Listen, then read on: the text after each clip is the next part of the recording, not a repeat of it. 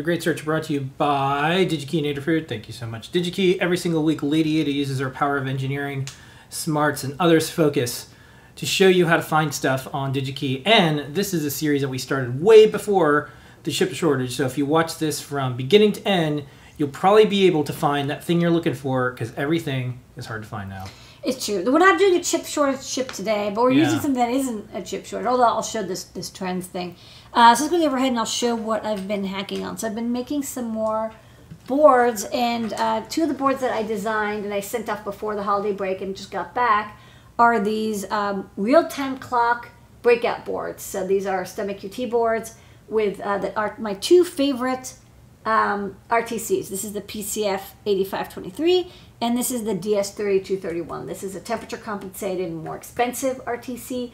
This is a uh, three or five volts, uh, non-compensated, but still pretty good quality. You know, easy to use, inexpensive. Um, just to pop on a 32 kilohertz crystal and you're good to go. This one has the crystal built in. And um, for real-time clocks, you really want to have a battery for battery backup. Uh, the whole point of the RTC is that it has a battery backup and keeps track of time, even when um, the rest of your system is depowered. So they usually have a separate uh, coin cell battery. So let's look at that. So um, nice little coin cell battery. So you know, there's a couple different ways to do it. There are, uh, you know, pick and placeable, um, non-rechargeable batteries, primary cells, but I do like these CR1220s. I find these to be great little coin cells. They're extremely common. Uh, you can get them kind of anywhere. Um, they're three volts, so you know they're they're perfect for real-time clock. Real-time clocks like running off of these. Um, but again, they're available and they last like seven years. But if they do get damaged, you can replace them, unlike the ones that are sold onto the PCBs. So I do, you know, I do kind of like um, having these, uh, you know, removable, replaceable coin cell batteries. This is a lithium cell. And you can see barely on there, it says CR1220.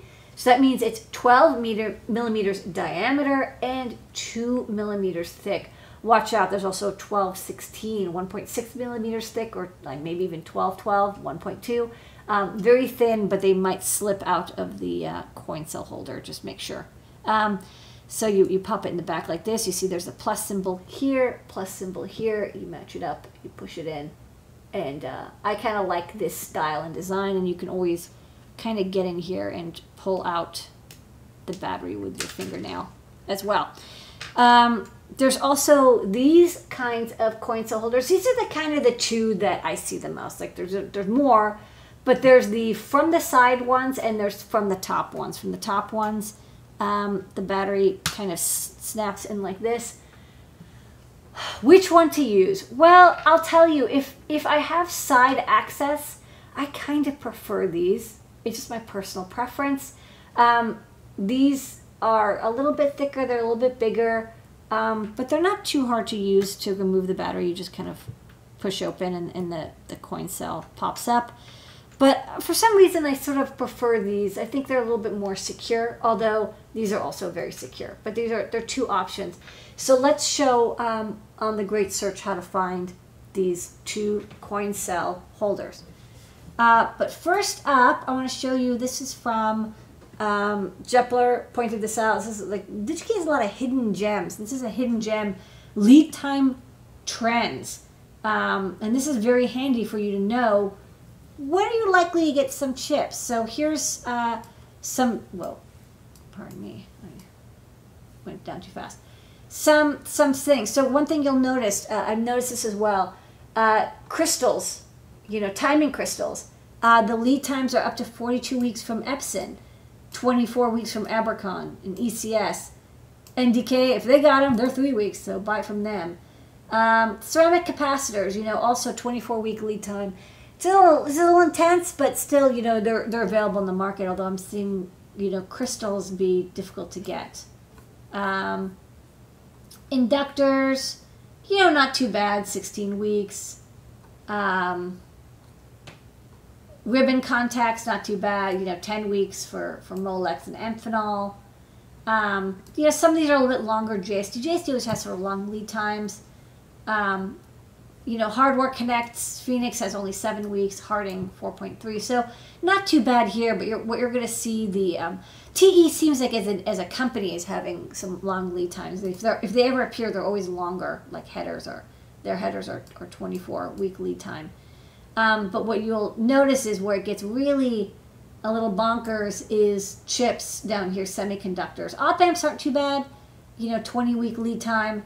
But switching regulators, so MPS, common uh, regulator company, uh, 50 weeks. Microcontroller ARM Cortex, STM's 45 weeks, NXP's 51 weeks. Microchips 41 weeks, TI 20 weeks. I think that's that's a little. It depends though, right? Because TI doesn't make that many Cortex chips. I think they make mostly MSP 430s, and then Xilinx, um, you know, 52 weeks. So you're gonna see really long uh, lead time still for semiconductors. This is good to, to test. Also, they have um, by company.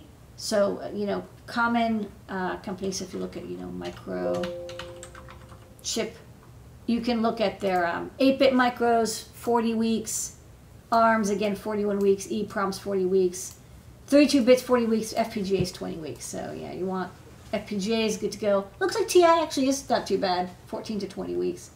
Analog devices also not too bad. Um, ST, you know, everyone knows that the ST microcontrollers right now are just impossible to get. So um, it doesn't look like it's going to get much better for the next 30, 40 weeks. So hopefully find some alternatives or maybe you've got some stock. Um, okay, so but back to coin cell holders. So look, let's look at coin cell holder because that's what we're, we're here for. Um, so you can get, uh, you know, you can get batteries um, as well. Even though this says I search for holders, don't forget you can also get your batteries here. Although note you can't ship them air, you ship ground. So just be aware of that. Oh, the Duracell has a little like happy family here going on. Yay! Yeah, okay. Happy Yay, I'm taller than you. You can't have this battery. I know what's going It's on. teasing the person, it looks like. It's a little mean. Um, Yeah. All sorts of batteries. But uh, let's go back to. But again, what I like about the CR1220 is you can actually get them at a grocery store. They're, they're that common. All right, so clips and contacts. Um, all right, so the first thing you'll want to do is, of course, let's only get active ones. And uh, we're going to look for the ones for our CR1220. And don't forget, the 12 is the 12 millimeters diameter. So let's look for um, 12 mi- millimeter diameter coin holders, which is battery cell size. You can see that. Okay, let me scroll down. Um, 10, 11.6, 12, 12.5. I'm going to grab 11.6, 12, and 12.5. You know, I don't ever see a 12.5 millimeter battery, but you know, you never know. Maybe the holder can can have both types. All right, so we have about uh, 65 options left. And you can see, you know, we're starting to see some of the ones. These, this is a through-hole one, and this is again that surface mount one. One thing I've noticed about coin cell holders is like they're kind of jelly bean. If you like this style, again, the top press-in style, um, you can get them from like 10 different fabrication companies. Um, let's go with surface mount because we want it to be pick and placeable.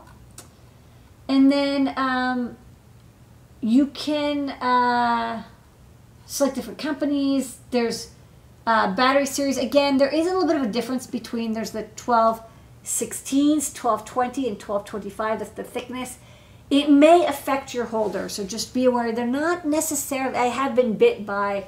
I got a holder and it was for 1225. I tried to put a 1216 and just like slid right out. So just be aware of that. Um, okay, so there's a couple different kinds again. Uh, there's this uh, snap top kind. A couple different companies make them. They're very common. Um, there's also uh, this kind, is also a sort of snap top type. Um, and this one, which is like really big, looks a little bit like a spaceship. But I rather like the, um, I really do like these bent metal ones. Um, Linx and MPD both make ones with uh, smaller tabs.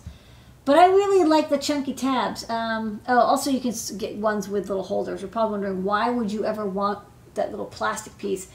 If you want to hold two batteries in, you can't have metal that will contact the outside because it'll short the middle battery together. So you have to have something protecting it. um, if you think about it, you know, the outer ring is a pole, right? It's not like a double A battery where like you have it on the ends, and so you can have the batteries next to each other, they're not going to short. With these, if you have a bunch of batteries stacked up and the metal is against the side, it'll short the batteries together. So you you would need that plastic piece if you had um, multiple batteries. And then there's some simple ones. These I don't like these as much. These are a little bit too simple because there's no mechanical, you know, thing holding them together. Again, I like these because they've got that stop. You know, the battery can't push too far back. Um, so let's look at ones that are in stock. And let's sort by price. And um, it's my favorite, the Adam Tech. So this is the one I like. This is the one you saw on the overhead. Um, they, again, these come in 20 millimeter size and like maybe 24 millimeter. They come in various sizes, but for real-time clocks, uh, I really like these. I can't beat the price.